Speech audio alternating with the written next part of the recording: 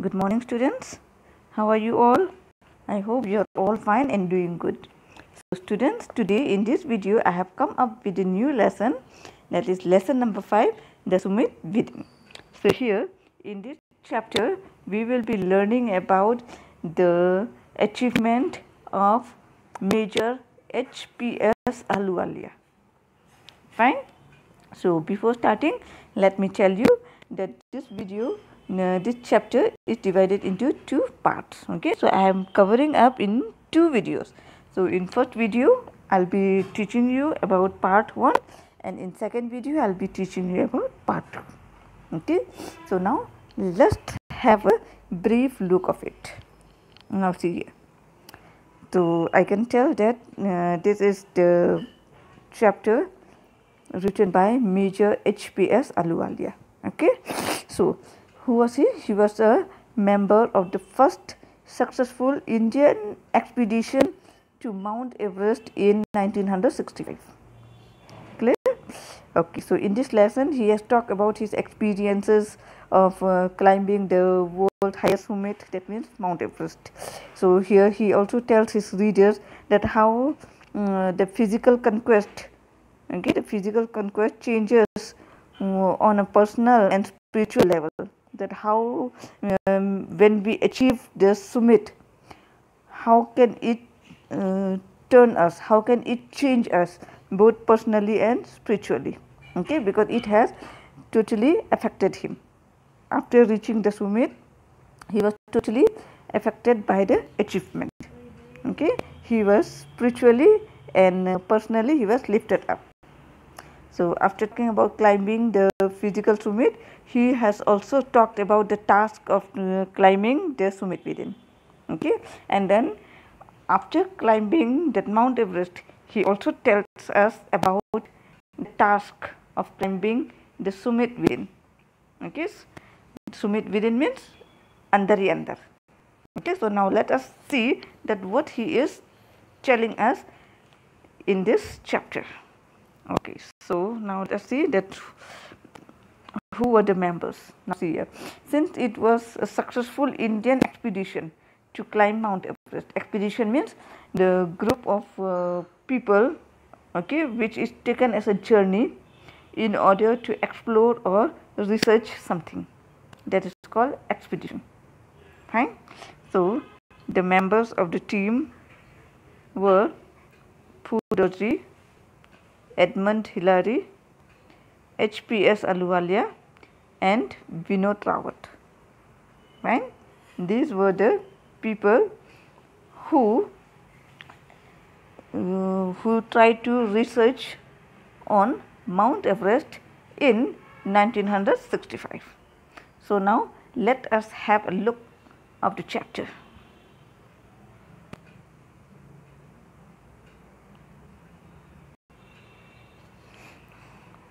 Okay. Now see the summit Within summary in english. Okay. In 1965 the expedition to mount everest was the first successful expedition. Okay. Expedition means a journey undertaken by a group of people. Okay. Here there were four members. Okay. Four of them. They expedited mount everest. Okay. And it was the first successful expedition. So, Edmund Hillary and Major Ahluwalia were also a part of this expedition. So, this chapter is a reminiscence of this expedition by Major Ahluwalia.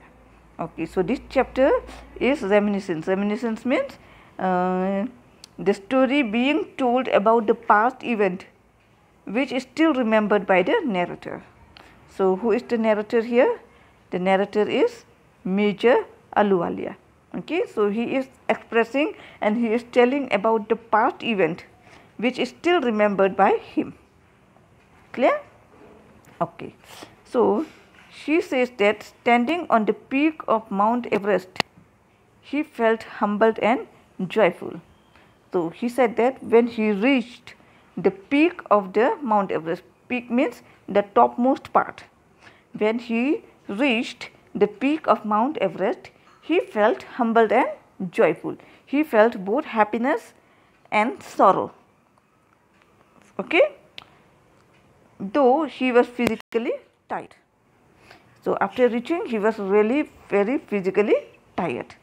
So at that moment, he was feeling both humbled and joyful. He felt that this joy will remain with him all his life. So he, he felt that this joy is not going to end. This joy will remain with him all through his life and was thus thankful to God. And he was really thankful to God because it was due to the will of the God that he was able to reach the summit of the mountain. Clear? He was able to reach the summit of the Everest. Okay. Also, she was sad and she was also sad somewhere at the same time. Even though he was happy, he was also sad. Okay. Though he was not sure about the reason, okay, so why was he sad? He was not sure about the reason that he could not find out exactly what was the reason behind his sadness. That why was he still sad even after achieving such a great height. But he thought that it was because now there is no higher peak to climb anymore. So, what makes him sad? He, uh, the reason why he was sad may be this that he has no peak left to climb because climb uh, Mount Everest is the highest peak in the world. We all know that. Okay. So, after Mount Everest, there is no other higher peaker than Mount Everest. So, this was the reason why he was little sad. Clear all of you? Okay.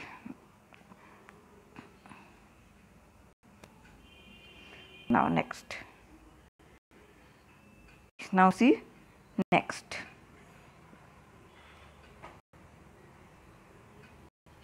Okay. In spite of climbing this summit, he thinks that there is also another summit that we need to climb. Okay. So, now we know the greatest summit is the Mount Everest. Okay. Mount Everest has the highest summit. But in spite of climbing this summit, ये summit पे चढ़ने के बावजूद भी he thinks that there is another summit that we need to climb. And what is that? It is the summit of our mind. Okay? That means it is the summit of our mind. So, how can we reach to the summit of our mind? We can reach by improving our thoughts. Okay? So, now let us come back to the chapter. As per his observation, he said that a person requires three qualities to climb any summit. Okay. So, how can we reach the summit of our mind? According to the author, he said that in order to climb the summit of our minds, we must have three qualities. What are they? They are endurance, persistence and willpower. Okay. So, endurance. What is endurance? Endurance means the capacity or the ability of something to last. Okay, it means the capacity or the ability of something to last forever or to withstand the wear and tear. Okay, wear and tear means the hardship. If you have the capacity to withstand the wear and tear, then you are able to achieve the summit. Okay, so I hope you got what is endurance means the capacity or the ability of something to last. Okay, if you have the strong willpower, then you can withstand any difficulties and that is called endurance. Now, persistence. What is persistence? It is uh, the ability to stubbornly continue doing something. जैसे जिद में आकर के जिद में अकड़ के कुछ चीज़ करना है। जैसे हम कभी थाम लेते हैं किसी चीज़ को कि हम वो, करेंगे किसी चीज़ को हम हासिल करेंगे। Okay that is called persistent मतलब जिद में आकर के किसी चीज़ को कट के ही छोड़ना। That is called persistence okay and will power will power is a strong power within the heart okay so this three things are the qualities which leads us to climb any summit if we have all these qualities we can reach the summit of our mind okay okay? फिर चाहे आपको physically pen हो चाहे कुछ भी हो you will not set back आप पीछे नहीं रहोगे what will you do you will try to think out some way some alternate to to complete the task what ever you are thinking about fine every one okay. So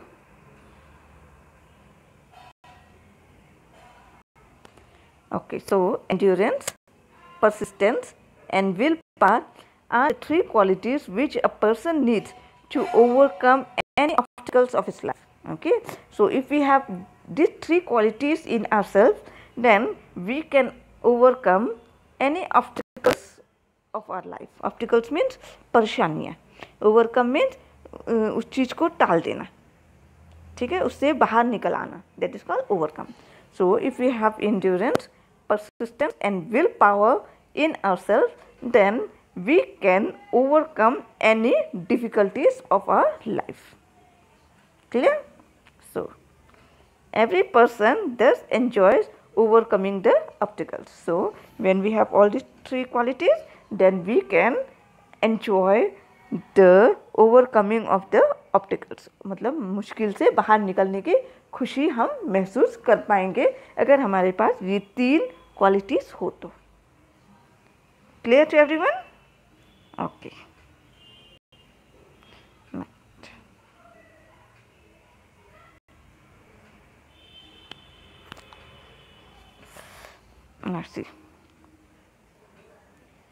on the question of why he chose to climb Everest, he says that he loves the mountains. Okay. And when he was asked that why had you choose to climb Everest, which is the highest mountain of all, okay, which is the highest summit of all. Why have you not choose K2 or any other peak? So what was his reply? He responded that he loved mountain. Okay, why did he choose Everest? He chose Everest because he loves the mountains as Mount Everest is the highest of them and it is a great struggle against rock and ice to climb it. He finds it very challenging. So, why did he particularly choose Everest? He particularly chose Everest because he said that Mount Everest is the highest of them. Of all the mountains, Mount Everest is the highest and so it is a great struggle okay climbing Mount Everest is great struggle because of rock and ice. The first thing is that it has rocks it is difficult to climb and the other thing is that it is ice it is covered with ice. So, it is really very risky.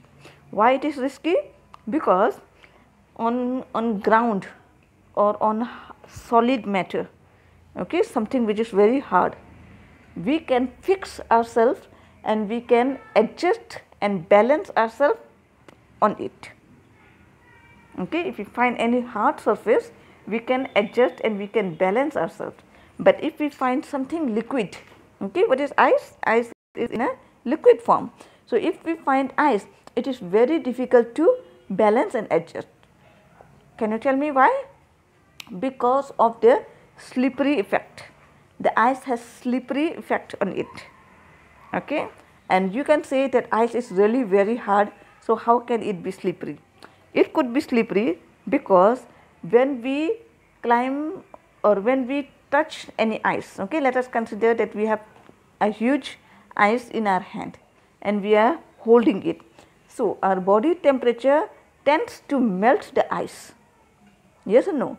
So, when it tends to melt the ice, the liquidity is formed and that liquidity makes slipperiness and because of that slipperiness it is possible for the climbers to slip down okay it is possible for the climbers to slip down the mountain. So this is the reason why climbing mount everest is really a challenging job because it is really very dangerous job.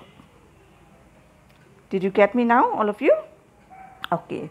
So major ahluwalia told that he loved mount everest because the first reason was that it was the highest of all and the other was that it is it was a great struggle to climb against rock and ice and he finds it very challenging. So this was the reason why he wants to see whether he have got the three qualities or not in order to achieve success. He wanted to see that whether was he able to face the challenge or not. Clear? Okay.